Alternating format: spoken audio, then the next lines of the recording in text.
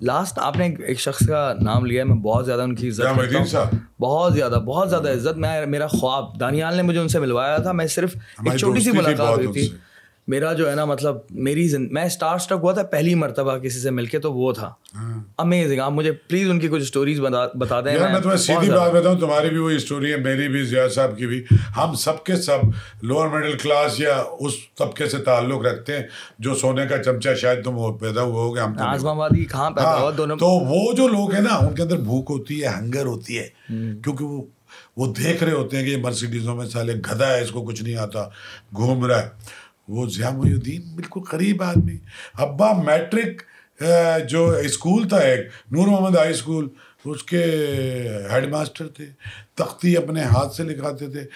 बस की छत पे चढ़ के साल भर पैसे जमा करके मरी गए थे जिया मोहुद्दीन मेरी यारी थी, वहाँ उन्हें नून में राशिद मिल गए।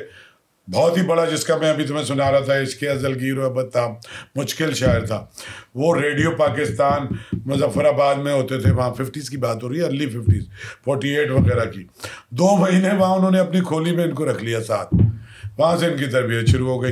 वहाँ से उन्होंने एक ख़त लिख के जैड बुखारी के नाम भेज दिया, लाहौर। रेडियो पाकिस्तान में नौकरी शुरू हो गई। इस तरीके से फिर वहाँ से कराची बुखारी साहब ले आए।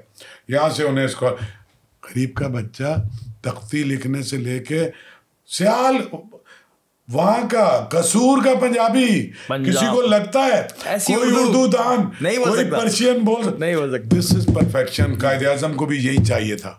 जिया मोहुद्दीन को भी यही चाहिए था। समझ गए? अंग्रेज़ी भी इतनी खूबसूरत और फिर अभी मैं तुम्हें बताऊँ मुझसे तो सारे स्टोरी मैं क्योंकि इन्हीं की जैसा हूँ ना लंदन में सो का इलाका आपको पता है रेड लाइट एरिया है। उसके अंदर एक रेड लाइट एरिया के बार में बर्तन धोते थे श्यामुद्दीन वहाँ सरवाइव करने के लिए कि उनकी स्कॉलरशिप जो थी लामडा की London Academy of Music and Drama की वो उनको रहने के तो पैसे नहीं थे। हम्म। तो वो वहाँ भी इश्क उनके काम आया। वो कोई वेट्रेस थी वो देखते थे स्मार्ट सा लड़का है।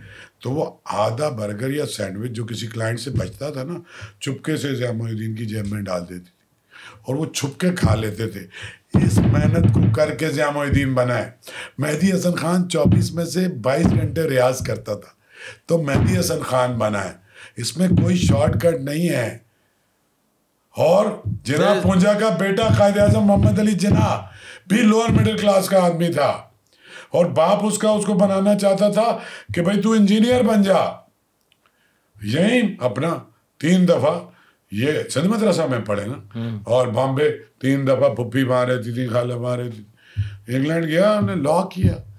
उसके बाद अपने आप को कितना इक्विपमेंट किया बहुत गौरव से मुतासर भी थे। अपने आप को तैयार किया ना यार। There is no shortcut that's true there is no shortcut लग जाते हैं बाद बेसुरों के। और 10 20 लाख रुपए मिलने शुरू हो जाते। हैं बहुत कम बट उसकी ज़िंदगी कम है। तबील नहीं है। तो जानिए हमारी कौम तो सारी शॉर्टकट पे लग गई है। या आईएमएफ भी तो शॉर्टकट है और क्या है? अंदर कुछ करना पड़ेगा हमें जान छुड़ानी पड़ेगी ना। आज तो नहीं छुड़ा सकते। हम मेहरबानी है जो जो हमें भीख दे रहे हैं सबकी मेहरबानी है। लेकिन इसको लौटा के तो अपने पैरों पे खड़ा तो होना पड़ेगा। बहुत वसाइल हैं इस मुल्क में। हम्म। तुम्हारे पैरों के नीचे ट्रिलियंस ऑफ़ डॉलर के वसाइल हैं। वो भी हम फ्री में दे देते हैं। किस चीज़ के? सोना पीतल तांबा तेल हर चीज़ है। ये तो है।